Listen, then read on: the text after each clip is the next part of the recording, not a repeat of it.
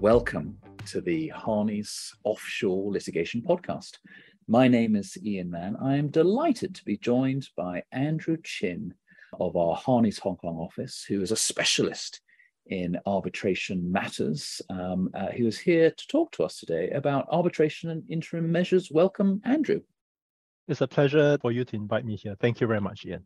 Andrew, I'm going to ask you in particular about arbitration in, in, in the BVI, where I understand there is um, an Arbitration Act in 2013 that governs the international arbitration in the BVI and is modern and establishes the BVI International Arbitration Center. How is that center going? That center is currently going very well. Some of the things which um, people may not be aware is that there has been a recent push in various offshore jurisdictions like the Cayman Islands and the BVI to build their profile as international arbitration hubs. And I think the BVI is um, definitely one of those that are very active in, on the international scene. Take, for example, the panel of arbitrators. Now they have over 200 arbitrators from right. over 40, 40 nationalities. It just shows the international reach of the BVI, mm-hmm. which mm-hmm. didn't used to be considered as one of the arbitration centers that you would go to if you have a dispute. But things have now changed. And, and when people look for sort of arbitration venues, I mean, one is sort of neutrality and, and a sense that the venue itself is going to be welcoming to for all sorts of reasons to all parties in, in the dispute right Yes, that is exactly correct. And the BVI and the Cayman Islands in this regard are well-renowned global financial centers. And the thing about these two jurisdictions is that the country is not affiliated to any ethnic group. So for example, you wouldn't be concerned that if you were being presided over by BVI arbitrator or heard by a judge in the BVI, they would necessarily be predisposed towards a particular ethnic group, unlike if you were in some other jurisdiction. So the advantage of these global financial centers, uh, as it implies, is that it attracts a clientele from all over the world. And this is why the BVI is the global financial monolith that it is today. And you've got a great choice on the panel of arbitrators of great experience from around the world who can sit there as well. Yes, exactly and yeah. I happen to be on that um, panel as well. Well, that's I was hinting to try and get you to to make that point. So well done, Andy. and tell me, in terms of the the UNCITRAL model law, that obviously must be. I mean, the BVI is a signatory to that, and that is a welcome to many practitioners who, who will just be familiar with that particular jurisdiction. Uh, yes, um, just for those who may not be aware of um, what the UNCITRAL model law on international commercial arbitration is. It's uh, similar in intent and effect to what is the UNCITRAL model law on cross-border insolvency. What it basically does is that it seeks to harmonize the legislation in various jurisdictions on this particular subject. So for cross-border insolvency, it seeks to harmonize um, laws on cross-border insolvency so that you know when you have insolvency in one jurisdiction and you want to take it to another jurisdiction, you more or less have an idea of how it's going to pan out. The same thing with arbitration. So those jurisdictions which want to showcase itself as being pro-arbitration as a place to be, they will tend to incorporate the UNCITRAL model law on international commercial arbitration. And in this regard, the BVI has been a front runner together with uh, many important commercial jurisdictions like Hong Kong and Singapore. And it is very aggressive because if you look at the text of the BVI Arbitration Act, you see that it expressly incorporates, in some instances, word for word, the text of the UNCITRAL model law on international commercial arbitration. So it just puts it yeah. beyond doubt that it has the UNCITRAL branding on it when you think of the BVI and the Cayman Islands. And so the model law is the rules which govern the arbitration. It's not to do with recognition of arbitrations, is it, or is it? Um, oh, recognition of arbitrations is being dealt with a separate international treaties called the New York Convention on the Recognition and Enforcement of Internet Arbitral Awards. And I, um, it is one of the most successful instances of international cooperation on the legal scene. So that treaty harmonizes the laws on recognition and enforcement of awards across 170 contracting states. So basically, it gives a very limited set of exceptions to enforcement of an award. The enforcement of an award is a default. So what you expect as an award creditor is that if you got an award and you want to go to any of these 170 jurisdictions to enforce it, you would almost be able to get it automatically as a right, barring very limited exceptions. And those exceptions are very narrowly construed. And so if you had a BVI award and you wanted to enforce it in another country, actually for you, you, the important aspect is that other country is a signatory to the New York Convention so that you can enforce it there. Yes, that is correct. So um, uh, that is the advantage of having a BVI arbitration, amongst other things.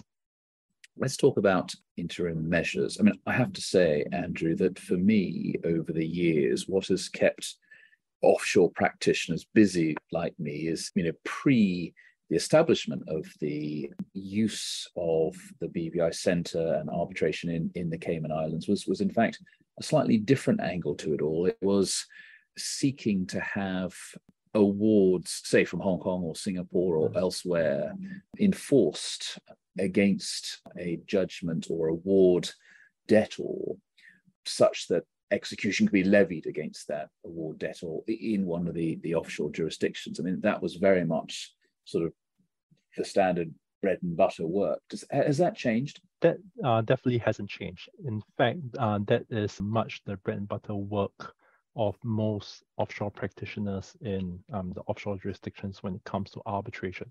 However, things are of course changing.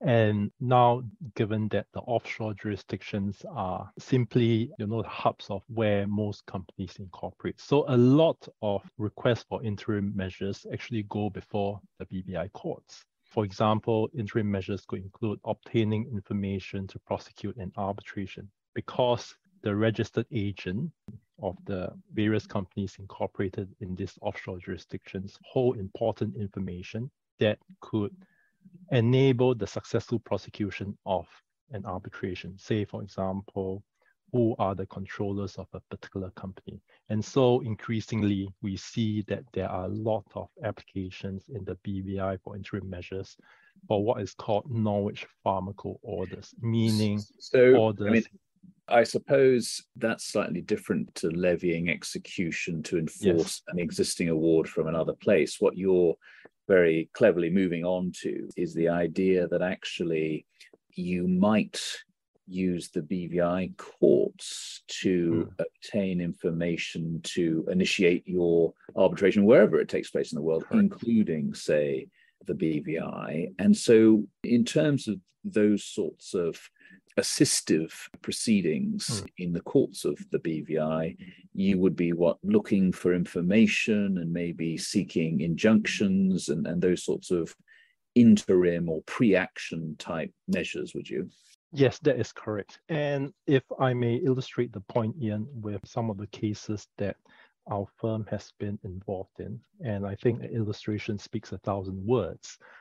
We had represented a client who was a PRC state-owned entity, the client has suspected that one of its consultants had deliberately set up a uh, consultancy company behind its back, marketed it as an independent entity, and made that independent entity sign a contract for commissions worth hundreds of millions of dollars for work in various Middle Eastern countries.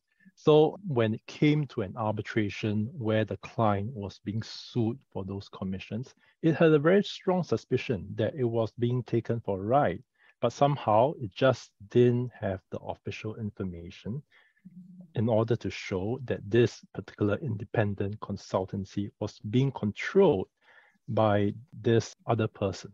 And why wouldn't you get that information from the arbitration itself, you know, through some kind mm. of disclosure procedure? Why would you mm. then have to go to the BVI courts for what? I mean, it sounds like sort of either a mm. passing off or a diversion of opportunity hmm. type fraud. Why hmm. wasn't the arbitration disclosure procedure, to put it that way, the right option? Ah, right. Because in arbitration, because of the emphasis on due process, in most arbitral rules, you don't allow a party to make an ex parte application to the arbitral tribunal. So in this case, our client was concerned that he had been defrauded. And obviously it didn't want the other side to know that, hey, I'm doing a fraud investigation on you. And the client was concerned if it made an application before the arbitral tribunal, the other side would then take measures to destroy evidence that could possibly link them to the fraud. So the client instructed us to take immediate steps in the BVI to obtain such information from the registered agents of the BVI um, consultancy. And, and I suppose also the, yep. I suppose also that person in the BVI, that company, in other words, um, was not a party to the arbitration? Um, the company was the party to the arbitration. It was the oh. company that was suing us. And the client had suspected that this company was actually set up by one of its so-called trusted advisors in order to defraud our client. So, which is why our client had taken such measures against the counterparty. And going back to your earlier question, Ian, as to why our client went to the BVI court. The advantage is that if you go seek an interim measure before a BVI court for a Norwich Pharmacal order, that is what is called a seal and gag order, whereby the registered agent is prohibited from disclosing the fact that an application against that company is being made. So this is why the BVI courts are now increasingly seeing a greater workload coming from requests for interim remedies and arbitration. I see. So you're making the Norwich Pharmacal, and for people listening, a Norwich Pharmacal is an application against an innocent third party for information pre-action mm-hmm. that might enable you to prosecute a claim, including an arbitral claim, to allow you to identify the wrongdoers. And so that claim in the BVI, Andrew, although the BVI company was a target, in fact, the mm. innocent third party that had the information reposed in it was presumably the registered agent of that BVI company. So, so the soft underbelly hmm. of information, in other words, yeah. Exactly. So in that case, the BVI courts were extremely efficient and the BVI registered agent did not even pose an objection.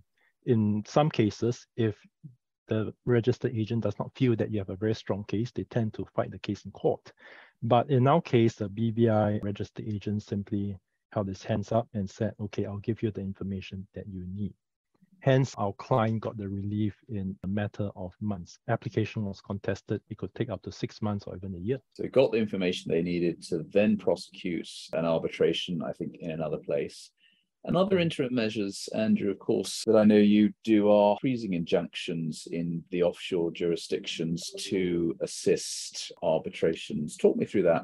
Right. So um, when you um, when it comes to seeking a freezing injunction, what you are trying to do is to prevent the other party from dissipating the assets before you can obtain an arbitral award and enforcing against that party.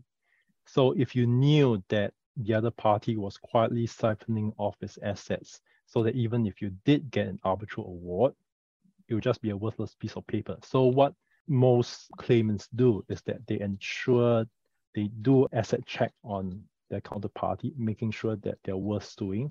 And if there is any indication that the other side is suffering of assets, you would take an immediate application in their jurisdiction of incorporation and seek a freezing order against them, or in a, a jurisdiction freezing. where the assets are located. Yeah, so a freezing so, order. Yes, uh, exactly. That stops the unlawful dissipation of assets intended to mm-hmm. defeat any judgment creditor once it had obtained judgment. Yeah, exactly. And if I can again indulge in my habit of storytelling, I'm just a newborn, so I am very now becoming more and more experienced in storytelling. Oh, well, um, congratulations! It, I'm sure. I'm sure your arbitration stories help your baby to fall asleep. yes, um, exactly. It's a very good bedtime story.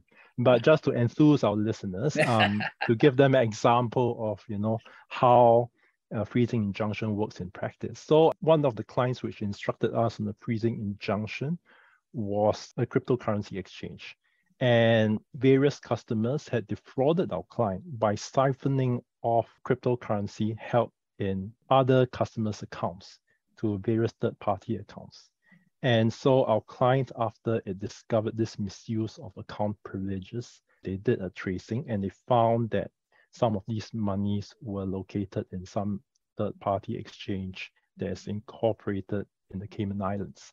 So what our client did was that it immediately instructed us to take out a freezing injunction against those assets that are being held by the third party in the Cayman Islands.